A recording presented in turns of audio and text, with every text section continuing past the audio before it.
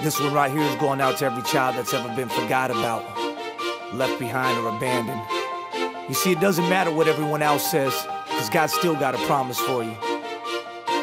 When I was born, my mom threw me inside a pit, deep in the ground, 30 feet down, left to die in this dark and muddy place with no one else around. Mama's walking away, wiping the tears back from my eyes, contemplating suicide, cause it kills her to hear me cry. I'm screaming, barely breathing and bleeding, cause these demons been scheming to kill me for no very reason. But still, I'm believing, no, there's a reason I was created, consummated in love, but these voices tell me I'm hated, I'm scared and afraid slowly sinking inside this Haitian grave. Then all of a sudden I heard a voice screaming out my name, saying he loved me though my mama didn't want me. She dropped me inside this pit, but God put out his hands and caught me inside.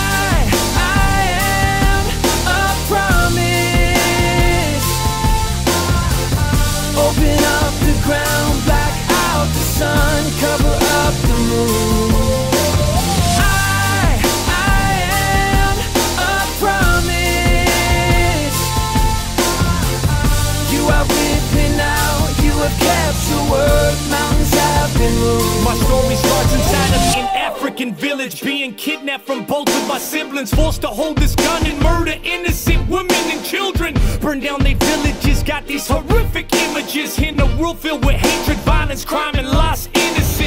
Tell me, is there any hope for me? Is it the way the little children are supposed to be? Screaming out, somebody helps in emergency. Is there anybody alive that can set me free? Cause I've done so much evil that I'm immune to the screaming and crying. With no more remorse, it's like I'm used to the suffering and dying. Ah! Got these horrible voices running through my brain, telling me to pull this trigger back and slowly ease the pain. Now I'm taking aim, tears falling down like rain. But just before I could do it, I heard you screaming out my name. Saying,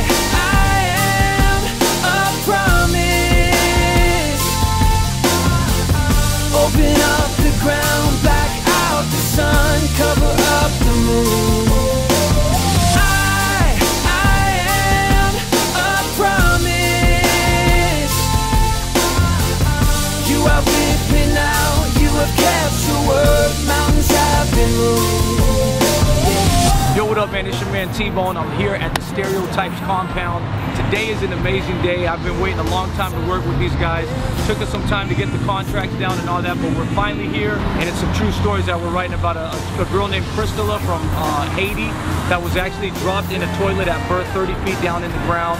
And then there's also a young boy from Africa um, who was forced to be uh, in a child soldier. So it's going to be amazing. We're going to blaze it up. Stay tuned. It's going to be bananas, y'all. Oh boy. Africa, Spain, and Haiti. This is a plea to the world. I'm fighting for all of our babies. Just maybe if we took the time to fight all the crime, stop all the abuse and abortions, and left no child behind. We could see a brighter day. Give our kids a brighter way. If children are the future, then we better do it right away. Cause times are the essence for all our little adolescents blessings that been destined for the kingdom of heaven. So let the children suffer not. They can't be forgotten. No, we can't let it happen. Imagine if we could make it stop. There'd be no suicides and children wouldn't have to cry. So wipe them tears back from your eyes, cause God said it gon' be alright. I, I am a promise.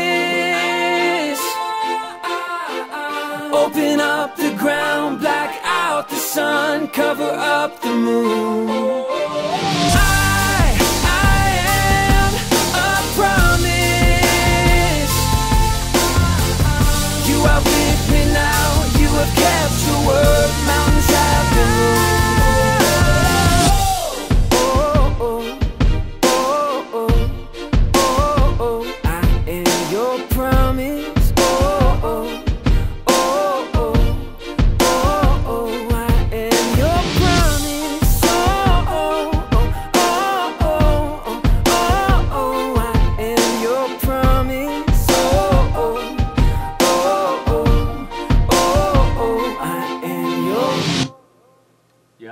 Second one.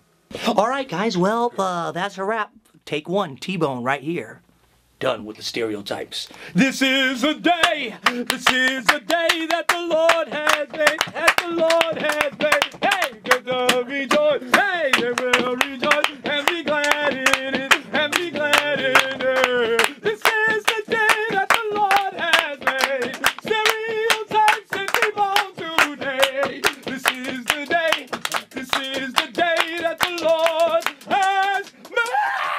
a voice to sing that.